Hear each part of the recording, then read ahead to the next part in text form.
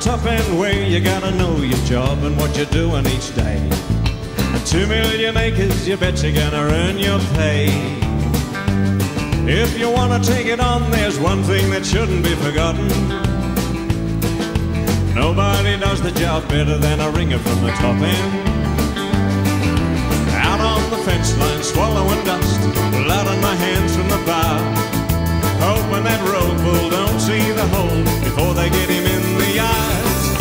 you get a funny feeling in the middle of your back. Sure enough, he's coming like a train down the track. It's when nobody else moves faster than this ringer from the top end. Hey!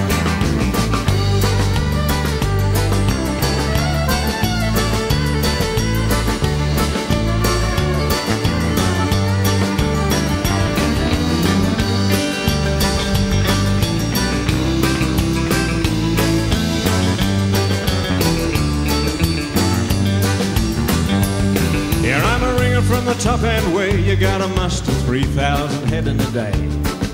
Move them to the yards and water them at end of day. It's not the sort of job you take if you're looking for a soft one. But you take a kind of pride in saying I'm a ringer from the top end. Well, I roll out my swag, the bow at three, then I'm out like a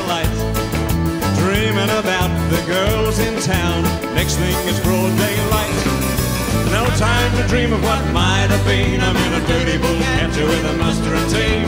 I better keep my mind on the job cause I'm a ringer from the top end. Oh yeah!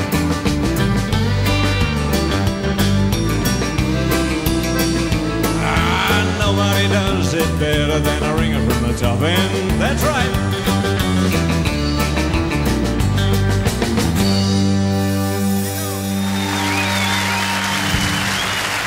Ladies and gentlemen, Mr. Kedron Taylor, who told me that before he did the, uh, the bit in the film, the director was at great pains to tell him not to overact. One can only imagine what we might have seen otherwise. we, I spoke earlier about some people behind the stars, and in that case,